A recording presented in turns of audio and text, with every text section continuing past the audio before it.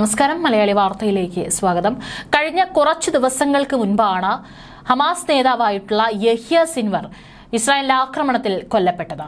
അദ്ദേഹം അവിടെയുള്ള ഒരു കെട്ടിടത്തിൽ തന്നെ ഒളിച്ചു താമസിക്കുകയായിരുന്നു. ഇതിനിടയിൽ യാദൃശികമായിട്ടാണ് ഇസ്രായേൽ യഹിയ സിൻവറിനെ കൊലപ്പെടുത്തുന്നത്. ഒക്ടോബർ ഏഴിന് ഹമാസ് നടത്തിയിട്ടുള്ള ആക്രമണത്തിന്റെ മുഖ്യ സൂത്രധാരൻ തന്നെയായിരുന്നു യഹിയ സിൻവർ. എന്നാൽ യഹിയ സിൻവറിന്റെ മരണത്തോടുകൂടി തന്നെ ഉയർന്നു വന്ന ഒരു ചോദ്യമായിരുന്നു. എവിടെയാണ് ഇസ്രായേലിൽ നിന്ന് തട്ടിക്കൊണ്ടുപോയ ബന്ദികൾ?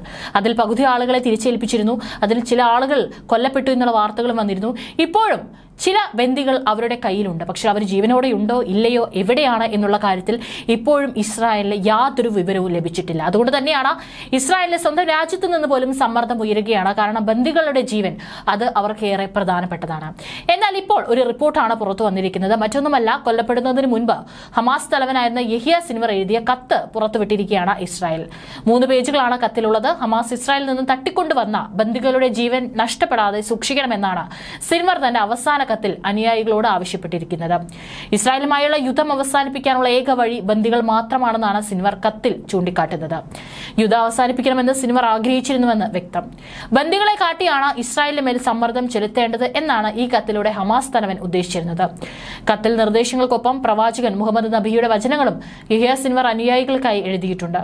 ഇസ്രായേലിന്റെ കൈവശമുള്ള ഹമാസ് തടവുകാരെ വിട്ടയക്കുന്നതിനെ തങ്ങൾ തട്ടിക്കൊണ്ടുവന്ന ബന്ദികൾ ജീവിച്ചിരിക്കേണ്ടത് അത്യാവശ്യമാണെന്നാണ് സിൻവർ കത്തിൽ പറയുന്നത്. കത്തിലെ മറ്റു പേജുകളിൽ ഓരോ ബന്ദിയുടെയും പേരും വയസ്സും മറ്റു വിവരങ്ങളും ഇയാൾ എഴുതിയിട്ടുണ്ട്. മറ്റൊരു പേജിൽ ഹമാസ് തട്ടിയെടുത്ത പതിനൊന്ന് വനിതാ ബന്ദികളുടെ വിശദാംശങ്ങളും കുറിച്ചിട്ടുണ്ട്. ഈ കത്തിന് കൂടുതൽ പേജുകൾ ഉണ്ടോ എന്ന കാര്യം ഇനിയും വ്യക്തമല്ല.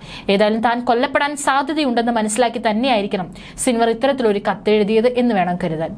ഇസ്രായേലിനെ പേടിച്ച് ഹമാസ് നേതാക്കൾക്ക് ഒരിക്കലും മൊബൈൽ ഫോണോ ഇന്റർനെറ്റോ ഉപയോഗിക്കാൻ കഴിയുമായിരുന്നില്ല.